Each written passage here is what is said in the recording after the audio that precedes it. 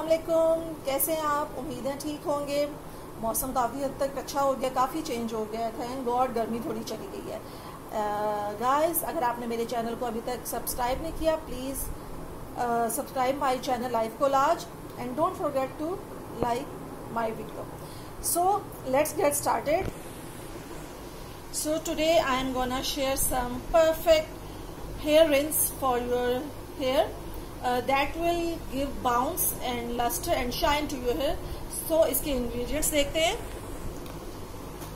This is apple cider vinegar one tablespoon this is black tea इसको मैंने ठंडा कर लिया है.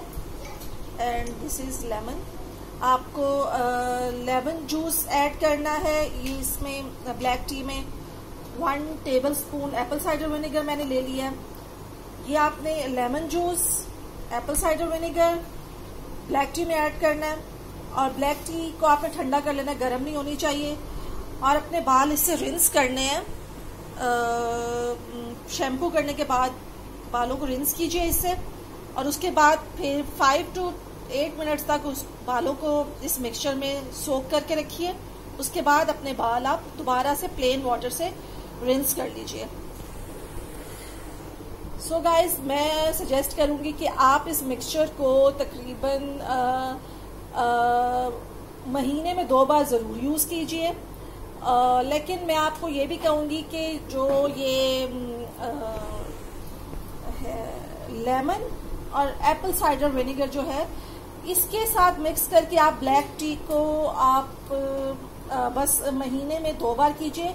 लेकिन जो सिंपल ब्लैक टी है सिंपल ब्लैक टी का रिंस आप वीक में टू टाइम्स या वीक में वंस इन अ वीक भी इजीली कर सकते हैं। ये इसका ब्लैक टी जो सिंपल है, इसका कोई हार्म नहीं है आपके बालों के लिए। बालों में लस्टर देता है, बालों में शाइन देती है और ये बालों के ओवरऑल हेल्थ के लिए बहुत अच्छी है। Excess of everything is bad तो इसलिए मैं कहूँगी कि जो एप्पल साइडर विनेगर है और लेमन है, ये आप सिर्फ़ वंस और ट्वाइस इन अ मंथ ही अपने बालों में टी के साथ मिक्स करके लगाएँ। इंग्रेडिएंट्स की आप क्वांटिटी जो है वो आ, कम और ज़्यादा कर सकते हैं according to your hair length so guys hopefully आपको बहुत अच्छा लगा होगा मेरा ये छोटा सा टिप ये बालों के लिए है इससे बाल बहुत अच्छे हो जाते हैं. तो आज मैं ये अपने बालों पे ये बना मिक्सचर बनाने के बाद लगाऊँगी. सो so, मैंने ये सब इंग्रेडिएंट्स इसमें मिक्स कर लिए हैं और मैं इसको अब अच्छा सा मिक्स कर रही हूँ तो उसके बाद ये मैं शैम्पू करने के बाद अपने बाल इससे रिंस करूँगी। ये बालों को बहुत अच्छा करता है स्कैल्प को हेल्दी करता है, जो इम्प्योरिटीज़ होती हैं वो रिमूव कर देता है, बालों में क्लस्टर आ जाता है शाइन आती है। So guys don't forget to like and subscribe my channel फिर मैं मिलूँगी आपसे दोबारा। Take care bye bye